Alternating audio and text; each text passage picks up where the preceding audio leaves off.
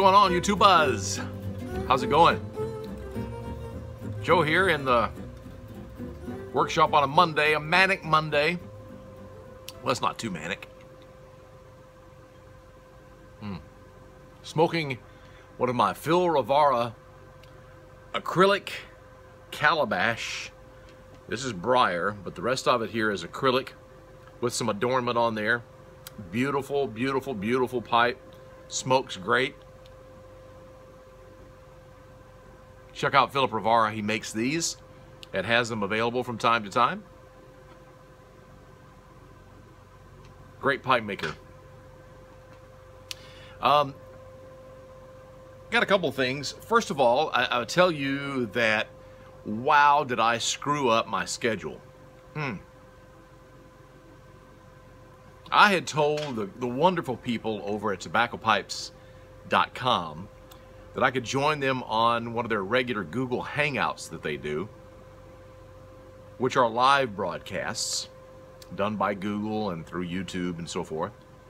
And uh, I told them I could be on there on the one that's going to be on tomorrow night. Have you ever done things where you, you, you you work off of like dual tracks in your mind or whatever and maybe this is an age thing. I don't i don't know but i i've done this a lot you know since since when i was younger. Uh you get excited about the the google hangout thing and man that's going to be great. It's going to be live. We're giving away a pipe and all that kind of thing. At the same time i had already previously promised my wife that I would accompany her to a uh, film uh, premiere here in Nashville, uh, on which she was a producer and uh, an executive uh, of this. And uh, it's a it's a faith-based film, and it's a one-night only showing on, you guessed it, tomorrow night. And uh, I had already committed to that, and I also committed, uh, you know, agreed to do the the Google Hangout thing too. And it was like, uh, well, first of all, I agreed to my wife's first, and second of all, it's pretty important for her. And um, the the movie is um, is is going to be premiering all across the country. It's it's kind of one of those one night only things, and it's about the comedian comedian Chonda Pierce.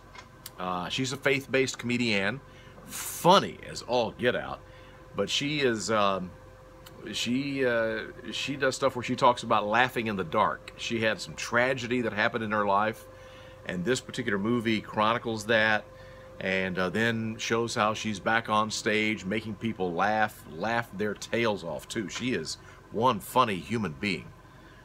But uh, that movie is going to be uh, all across the land tomorrow, October 27th, uh, at a um, at a theater probably near you. So, get a chance, want to see something, a really sweet story, but also very funny as well. You might want to check that out. So, but anyway, here in Nashville, there's going to be the, you know, Chonda is going to be at this particular, you know, premiere and everything. So it's kind of like I needed to, to be there with my wife tomorrow night. So, Anyway, I apologize profusely to tobaccopipes.com, uh, the folks there. We have rescheduled my appearance for Tuesday, December 8th. It's Tuesday, December 8th. And the pipe I think I showed you, maybe I showed you, it was on Instagram. I took it back off because I didn't know what we were going to do with it. But that pipe, it's a little pocket ants. We're going to give that away uh, during that uh, hangout on December 8th. So we'll have more uh, about that. I think they're going to go ahead and do something tomorrow night. They're going to have a surprise guest and some goodies and all kinds of things tomorrow night. I actually wish I could could watch and see what's uh, what's going on with that live. But uh, again, I'll be uh, with Pam at that uh, movie premiere. Smoking some Blue Ridge, by the way. Mm, good stuff. Um, also wanted to tell you that for 2016, I'm going to have a little uh, some things up my sleeve. So that's a little tease to hang on. It's time to make handmade pipes, handmade pipes, more affordable. and I'll be showing you. Stick around for that. Uh, every now and then I'll run across an invention or a gizmo, gadget, whatever, that just uh, changes my life, rocks my world. And I ran across something not too long ago, but Jay Dagner had it when he came down, and he gave me this little thing because I was so enamored by it, and it's this thing. Now you may look at it and go, what the heck is that?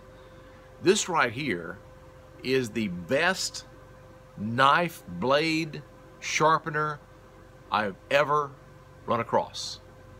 And I mean, I've got, I've got back over my shoulder, right back in there, is uh, a $750 Tormek whetstone sharpening grinder.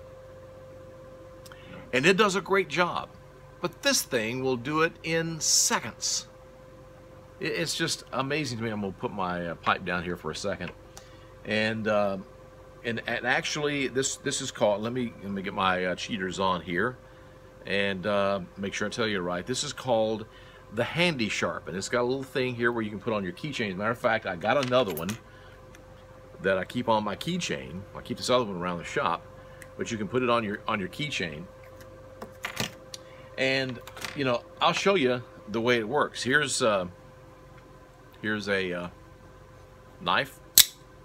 Hello, this is my uh, Smith & Wesson HRT, and I've already sharpened it. I mean, it is just I have to be careful touching it because it is it is so sharp that it's incredible. And all you do is take it about a 45 degree angle to the blade and just do this. Can you see, can you see what I'm doing? Just do that. And this carbide steel, which is harder than anything,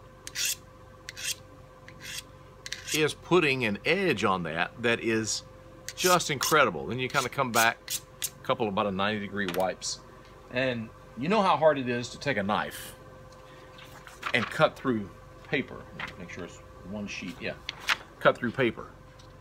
Well, I will tell you that this this stuff right here, I mean, look at it. It just absolutely will just, if I hold it right, it just cuts through that paper.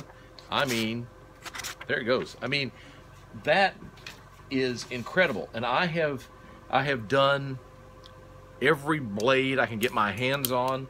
Here, matter of fact, I have these utility scissors. I love these things right here. These uh, these scissors right here. My my dad. This is this is uh, these are Bell System scissors from the telephone company that were my dad's. And uh, you know, it's like cable splicers used to have them. You have the little notches there for you know, rip, you know, peeling back the cable, whatever. He worked for the telephone company until he passed away at the age of 43. But I, I sharpened these things, and these are like utility. These are, you know, meant for cutting wire and anything. But I, you know, I want you to watch how it cuts the paper. It just, I mean, just barely. Look at that. it's it's crazy. And this um, this thing, well, get it up here in the camera so you can see it. You just do it like this. That is it. If, if they are extremely dull, then you might want to put a little more pressure on it at first. But otherwise, if you're just doing a tune-up, you're just uh, going across it like that at a 45 degree angle. And if they have the serrated edges, like, like this one does right here, you simply do the same kind of thing to it. Just go along there, like that. If you want to take it down into the edges, you can do that. Just like that. But basically 45 degree angle, and that is so flipping sharp. I can't, I just can't describe to you. And so Jay, thank you for showing me that. They also make, which I ordered, also this thing called the Sharpen Spark. Now it's got it's got that same thing here. It's also got the V groove right there where you can run stuff through. But also on it, which is really cool, it has flint there that you can take that and you can, if I get it right, you can't see it. Spark, there it goes. See it? See it sparking? There it goes. Okay. I don't want to catch anything on fire here in the shop.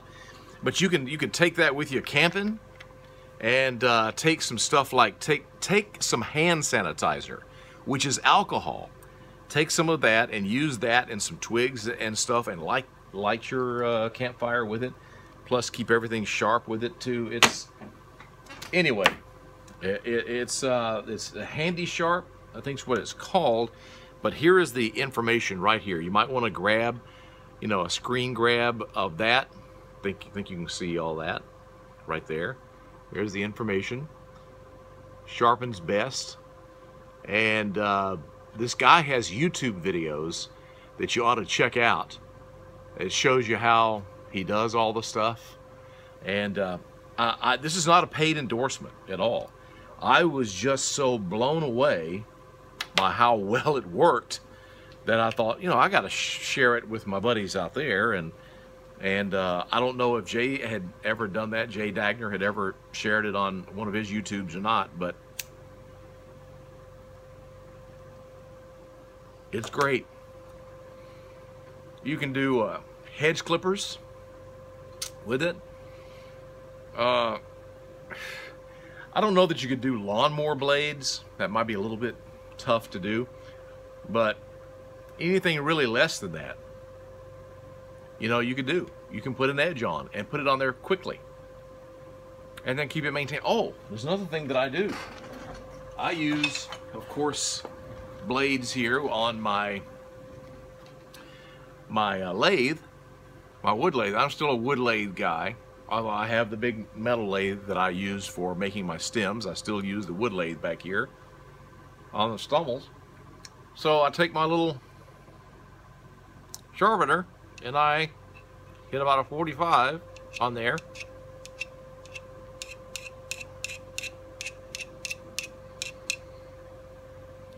Buddy, that is so sharp. That is incredible.